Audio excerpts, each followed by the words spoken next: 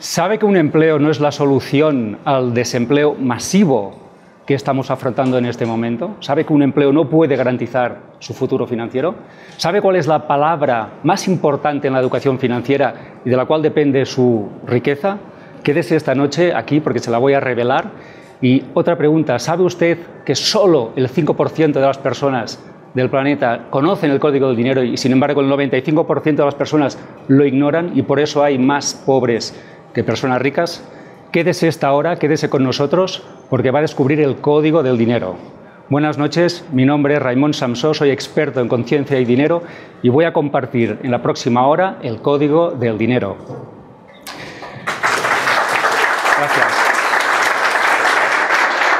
Quiero saludar a todas las personas que están ahora mismo viéndonos de todos los países, de prácticamente todos, de Latinoamérica, probablemente también de España. Y eh, vamos a empezar esta sesión del Código del Dinero. El Código del Dinero es uno de los libros que he escrito, he escrito 24 libros y es quizá el más conocido el Código del Dinero. Pero antes quiero explicar cuál es mi historia. No siempre me fue bien, también tengo eh, una historia que contar. He trabajado en tres multinacionales, he trabajado en tres bancos y en un momento de mi vida, imagino que saben lo que, a lo que me refiero, sentí que debía dejar todo aquello. Mi vida funcionaba, tenía un buen sueldo, era director en, un buen banco español y sin embargo no me sentía realizado. Así que un buen día me encontré en la, en la sala de personal del banco tratando de dimitir. Y digo tratando porque tuve que ir tres veces. Las dos primeras me convencieron y no conseguí dimitir, pero la tercera vez que fui sí que dimití y ya me prepararon los papeles. Antes de eso estuve en el despacho de la doctora del banco y eh, le expliqué cuál era mi situación. mi situación es que me sentía triste, desanimado. Incluso a veces lloraba y no sabía por qué. No sé si alguna persona de aquí le ha pasado alguna cosa parecida. Sí, a veces lloramos, no sabemos por qué. Bueno, la doctora del banco me dijo que, que no había problema, que aquello era muy normal, que en el banco eh, había muchas depresiones. Que estuviera tranquilo, que me iba a dar la baja médica. Pero yo no estaba tranquilo porque me lo estaba diciendo a mí. Así que le dije, no, no, no me dé la baja médica porque lo voy a tramitar con otro tipo de baja. Y así, al cabo de unos días, estaba en el despacho del jefe de personal tramitando mi baja laboral. No fui valiente, creo que me asusté, creo que fui cobarde y decidí abandonar aquella situación en la cual yo no era feliz y además estaba enfermando. Bueno, eso pasó hace años y entonces decidí emprender, crear un proyecto. Y me hice tres preguntas. Y de esas tres preguntas nacieron estos tres libros. Tienen que ver con tres palabras muy importantes. Sentido. ¿Tiene sentido mi vida? ¿Sabemos lo que es el significado? ¿Vivir por algo más grande que nosotros? ¿Es posible vivir una vida con sentido? Esa es la pregunta que me hice. Y entonces decidí empezar una nueva profesión de la que nada sabía como escritor, como autor, como conferenciante, como formador, etc. Hasta que sí encontré el sentido, el significado, algo por lo que vivir. Y como lo viví, lo expresé en un libro. Yo siempre hago esto, hago una pregunta, lo vivo y luego hago un libro. La siguiente pregunta que me hice era, muy bien, ya tengo significado, me gusta lo que estoy haciendo. Pero, ¿voy a ganar dinero con lo que me gusta? ¿Verdad que es una pregunta que nos hacemos a menudo esta? ¿Voy a poder vivir de lo que me gusta, de mi pasión? Y entonces me, prometía que, me, prometí a mí mismo que lo haría, que lo conseguiría. Así lo conseguí, empecé a hacer mis primeras facturas, mis primeros ingresos como coach, como formador, los libros empezaban a arrancar, se vendían cada vez más. Pero claro, no era lo que yo tenía antes. Había dejado mucho atrás, había dejado una carrera una profesión, había vendido un, apartamento, había vendido el carro, el coche, no tenía nada, prácticamente nada, empezaba de cero. Así que me, me, pregunté entonces, ¿y podría ser posible que duplicara ingresos continuamente? Cada mes, duplicar, duplicar, duplicar, duplicar y duplicar. Y entonces hallé el código del dinero. Hoy les contaré lo que me permitió duplicar y duplicar y duplicar los ingresos. Bueno, la situación era mejor, pero claro, estaba trabajando muchísimo. No tenía tiempo para nada. Ya saben, el emprendedor al principio hace todo. Y no tenía tiempo ni para respirar. Y entonces me pregunté, bueno, ya está, ya está. ¿Tengo, eh, significado? Sí. ¿Tengo ingresos? Sí. Pero no tengo tiempo. Y la pregunta es, ¿podría ganar lo mismo o más trabajando menos tiempo? Y entonces descubrí cómo sistematizar, cómo delegar, cómo, cómo crear ingresos pasivos, etcétera. Lo expliqué en un libro. Todo lo que yo me pregunto, lo experimento, lo aprendo y luego lo explico en un libro. Siempre. Esa es mi filosofía. Así que estas tres preguntas que yo dejo aquí para que cada uno de nosotros se las haga, la gente que nos está viendo online, ¿mi vida tiene sentido? ¿Tengo los ingresos que yo deseo? ¿Y tengo tiempo para vivir?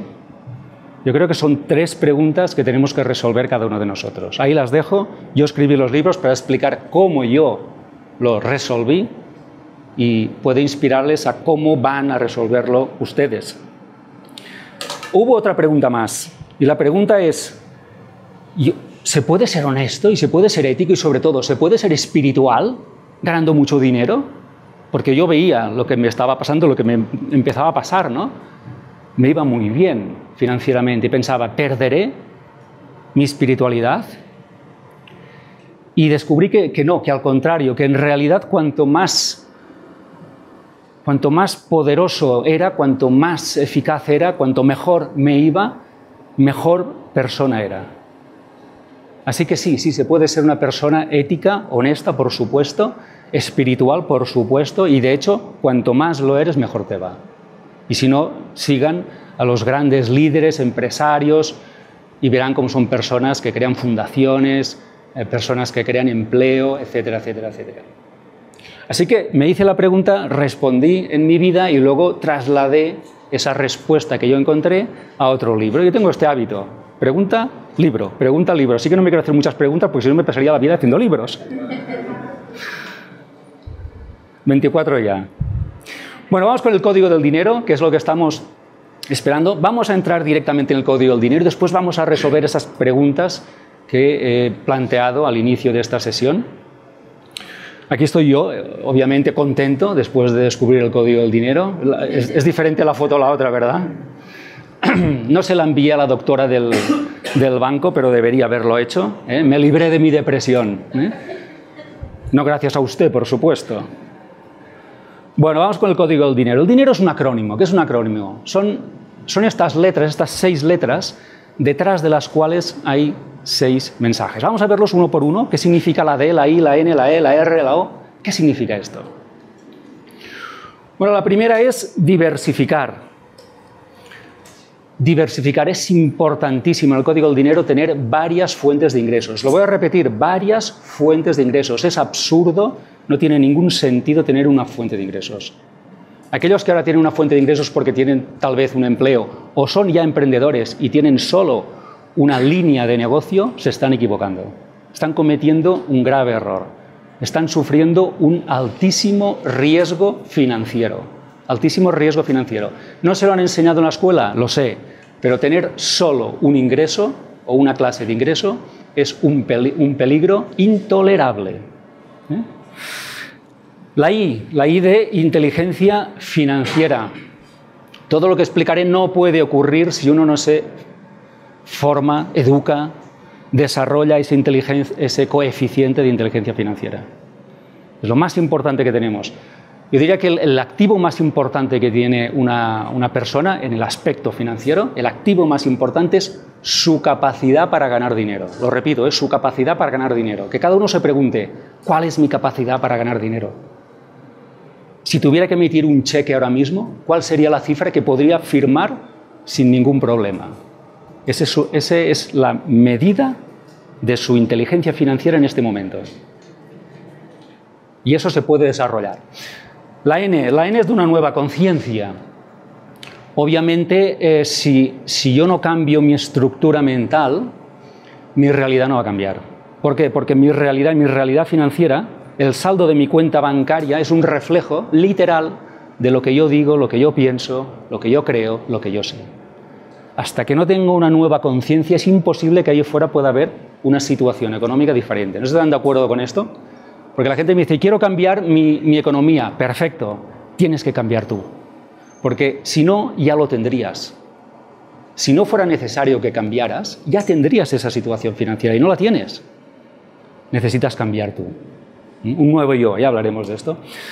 Emprender, bueno, esto es la clave. Sé que es una palabra que hemos oído, que se escucha muchísimo, pero la clave es emprender. La clave no es tener un pluriempleo y tener dos empleos, eso es repetir el error. La clave es emprender. ¿Mm? La clave es emprender. ¿Y por qué? Miren, les voy a hacer una revelación, porque yo he venido aquí a hablar claro. ¿Quieren que hable claro, verdad? Sí. Miren, eh, durante la, la última crisis, que empezó en el 2009, el mundo descubrió que el empleo ya no, ya no era lo que había sido. Y entonces vieron como el empleo se iba a ultramar y se iba a China, India, Oriente, los empleos migraban y esos países producían, ¿verdad? Bueno, eso ya no está ocurriendo, ya no migran. ¿Saben lo que está pasando? ¿Por qué no migran? Ya no hace falta que migren. Occidente ha descubierto cómo hacer que no migren. ¿Les digo cómo? ¿Quieren saberlo? Sí. Con robots ya no hace falta que un ser humano haga todo ese trabajo. Ya no hace falta que alguien cobre más barato en otro continente y nosotros eh, tengamos las fábricas en Oriente. Ya no hace falta todo eso. Lo que viene ahora es el desempleo masivo. Se lo ha anunciado hace, unos minutos. Y tenemos que estar preparados para afrontar esta situación. ¿Y qué tenemos que hacer? Tenemos que reaprender, reaprender el mundo. El mundo ha cambiado, ya no es el mismo, la economía es otra, el mundo del empleo es otro. No podemos jugar con las reglas de papá o del abuelo. Ese mundo ya no existe, el mundo de papá y, del abuelo ya no existen. Son unas reglas diferentes y lo triste es que hoy la gente sigue jugando con unas reglas obsoletas. Tenemos que reaprender el mundo. El mundo es diferente, es digital, es global, está robotizado, eh, es muy diferente. Y la O, oportunidades cada cual tendrá que crear las suyas. No podemos esperar que el gobierno nos dé oportunidades, no podemos esperar que una empresa nos dé oportunidades. Nosotros tenemos que salir a la calle y crear nuestras oportunidades. Esto es así y va a ser así. Y cada vez será más visible. Este es el código del dinero. Estas seis palabras contienen, estas seis letras contienen estas seis palabras que nos tienen que hacer pensar en un nuevo, una nueva mentalidad, en una nueva cosmovisión de lo que son las finanzas. Si pudiera resumir el código del dinero, les diría que el primer paso es salir de la mente pobre. Si no salimos de una mente limitada, eh, poco ambiciosa, que se conforma, no podremos crear una mente rica. Hemos de descartar esa mentalidad, esas creencias, esos pensamientos de mente pobre. Tenemos que eh, penalizarnos a nosotros mismos cada vez que digamos algo de mente pobre o que pensemos simplemente a lo que tenga que ver con mente pobre. Y cuando hayamos borrado todo esto, tenemos que empezar y reprogramarnos con otro vocabulario. ¿Cuál? El de la mente rica. Yo puedo, yo sé, yo aprenderé, yo delegaré, yo emprenderé, etcétera, etcétera. Y aprender cómo. Y aprender quién nos va a ayudar y, o qué nos va a ayudar. Y cuando, cuando hayamos echado a ese pobre que está en nuestra mente, lo hayamos echado, ¿eh? hay que echarlo ¿eh? de la mente, y hayamos invitado o le demos el micro al rico que está dentro de nosotros, entonces nuestra vida cambiará. Dentro de nosotros hay un pobre y hay un rico. Y, todo, y nuestra, nuestra situación financiera dependerá de quién tenga el micrófono en cada momento. ¿Quién está hablando ahora en tu mente? Tu mente pobre, tu mente rica. Tenemos que echarle de nuestra mente, echarle, expulsarle directamente, fuera. ¿eh? E invitar a nuestra mente rica en nuestro día a día. Y a partir de ahí sí podemos trazar ya un plan un plan, un proyecto, un emprendimiento, un proyecto, queda así, proyecto, una idea, así, cada uno tiene la suya. Tenemos que defender nuestra idea, tenemos que convertirnos en esa idea, tenemos que eh, amar esa idea por encima de todo y no rendirnos ante nada. Nuestra idea es nuestro negocio. Cuando tengamos ya esto encarrilado, el punto más divertido de todos es este, despedir al jefe, quien lo tenga, Suena bien, ¿verdad? Y si puede ser un lunes, que le sienta fatal el lunes. Se presenta el lunes a primero en el despacho, que están muy nerviosos los jefes. Le dices, tres minutos que quiero hablar contigo. Estoy muy ocupado. Tres minutos ahora. ¿Qué pasa? Estás despedido. Bueno, dicho así suena a broma, pero creo que eh, eh, pedir la cita con tu jefe para despedirte creo que es uno de los momentos más gloriosos en la vida de un ser humano. Ese y la boda, los dos. ¿eh? El día más feliz de tu vida, cuando despedí a mi jefe. No, perdón, cuando me casé. Bueno, ya tenemos el negocio, tenemos esa mente rica, hemos despedido al jefe. ¿Qué tenemos que hacer lo siguiente? Duplicar, duplicar, duplicar, crecer, expandir, diversificar, ¿eh? ampliar, crecer. Y como recordatorio, para que no se nos olvide nunca, repetir tantas veces el punto 5 que es interesantísimo. Duplicar, duplicar, duplicar. A mí me encanta esta palabra, duplicar, duplicar, duplicar. Duplicar. Tenemos que pedirnos más. Pero bueno, hay... yo, he ejercido como coach siete años. He visto muchas personas. Eh, y siempre se quedan encalladas en lo mismo, en la zona roja. Ahí se quedan encalladas. Venían y me decían, Raymond, no sé lo que quiero. Yo le decía, sí, sí que lo sabes lo que quieres. ¿Cómo no saber lo que quieres? Pero no me lo dices para no tener que hacerlo. Te estás engañando. ¿Ya me quieres engañar a mí? No. Sí que lo sabes. Bueno, vale, sí, lo sé. Pero es que no sé cómo. Digo, bueno, el cómo hay muchos. Ya encontraremos uno. Pero vamos a la zona verde, que es mucho más interesante. ¿Para qué lo quieres? ¿Para qué quieres este qué? ¿Para qué lo quieres? Es el punto más importante, este. Esto no me importa mucho a mí. Porque el que ya lo sé, quiere ser, ya lo sé, me lo sé de memoria, quiere ser feliz, quiere ser libre y quiere ser rico, ya lo sé, todo el mundo. ¿Mm? Feliz, libre, sabio y rico. ¿Cómo? ¿Cómo? Hay muchos. Pero ¿para qué? ¿Para qué lo quieres? ¿Para impresionar al vecino delante de tu casa? ¿Para llevar a tu hijo a la mejor universidad de, cualquier sitio? ¿Para qué? ¿Para retirarte con 45 años? Dímelo, ¿para qué? Si no, no, no te juzgo, solo quiero saberlo y que lo sepas tú. Y el más importante de todos, ¿en quién te has de convertir para que eso sea posible? Porque la persona que eres en este momento no puede hacerlo, si no ya lo habría hecho. Tienes que ser otro. Tienes que hacer cosas diferentes, saber cosas diferentes, pensar cosas diferentes, sentir cosas diferentes, decir cosas diferentes. Cuando tú sepas para qué quieres algo y en quién te has de convertir para saberlo, eres imparable. Siempre se quedaban encallados en la zona roja, ¿eh? en la zona verde ni se les ocurría. Bueno, eso es el coaching, ¿verdad? ¿El coaching financiero. Ahí dejo esas preguntas a toda la audiencia para que se las formule. ¿eh? ¿Quién y para qué?